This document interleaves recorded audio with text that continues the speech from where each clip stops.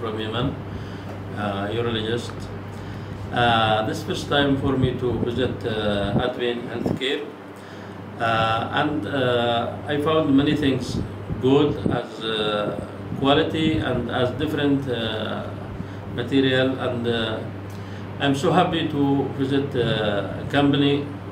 and to learn more about product. And from my testing, as uh, I have what experience in urology and laparoscopy and gastroscopy, I found good things, good quality, and I hope in the future we will have a good uh, business together